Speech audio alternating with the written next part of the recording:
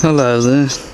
Here's a blue bottle fly that I'm filming on the lid of one of my dustbins there. Hmm. Now the blue bottle fly is one of the most common insects in the United Kingdom. It is part of the blowfly family.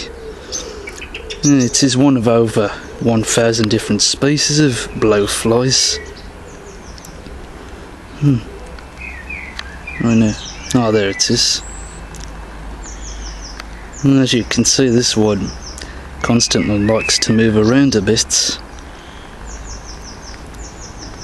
Hmm. Oh, there it is.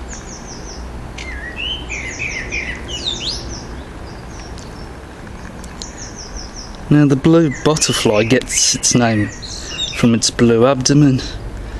It's, it's also sort of mostly blackish grey around the head and middle parts of its body. And it has uh, two big red eyes. And now it's gone back to this dustbin.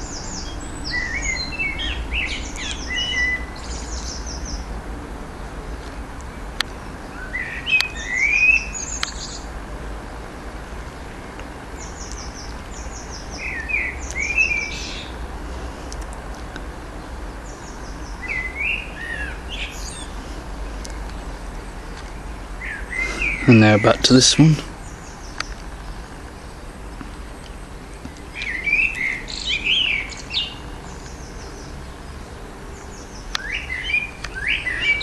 Mm.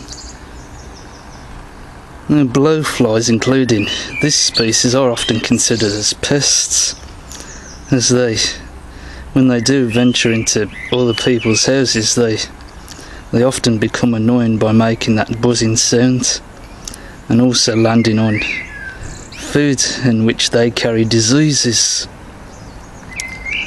So you won't want these insects in your house.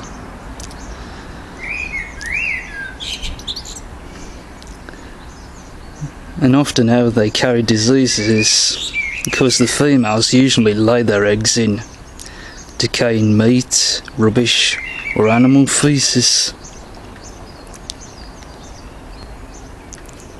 Hmm. Uh, it does sound gross by now, but blue bottle flies do actually help us in a way.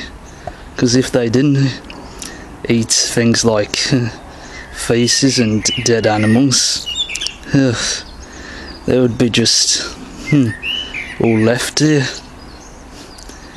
in the whole country.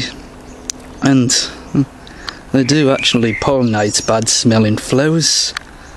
Blue bottle flies do. So we really do need blue bottle flies in a way.